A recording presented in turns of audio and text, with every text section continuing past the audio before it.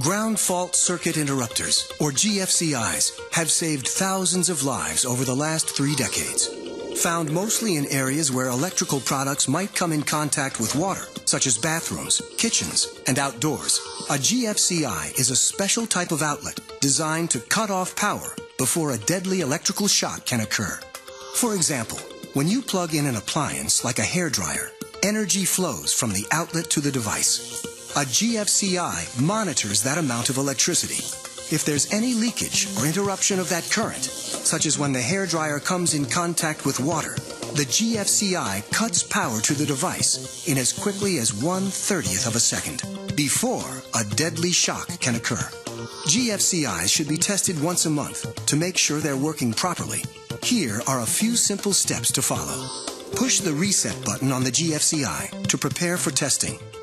Plug a nightlight or similar electrical device into the receptacle. The light should turn on. Push the test button. The nightlight should go off. Complete the test by pushing the reset button again. The nightlight should turn on. If the nightlight does not turn off when the test button is pushed, then the GFCI may be improperly installed or damaged and does not offer shock protection.